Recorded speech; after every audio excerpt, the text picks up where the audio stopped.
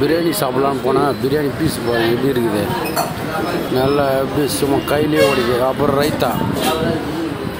ரைத்தாவில் பார்த்தா தயிரே இல்லை. அப்புறம் ஒரு முட்டை. முட்டையை பார்த்துட்டு ஒரு எலும்பு பீஸாக எடுத்து அதுலேருந்து சதையை எடுத்தால் அப்படியே ஓடிதுங்க கையிலேயே. நீங்களே பாருங்களா.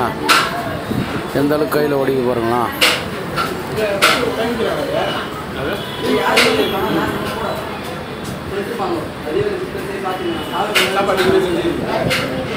அப்புறம் சொல்லி எல்லாத்தையும் கொஞ்சம் ஒதுக்கி ஓரமாக வச்சுட்டு ஒரு கை எடுத்து வாயில் வச்சுங்க அப்படியே பாதி முறை.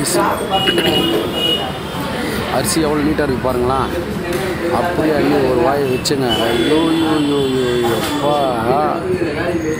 அந்த டேஸ்ட்டு வேறு லெவல் டேஸ்ட்டுங்க ரைஸு சும்மா அப்படி இருந்தது.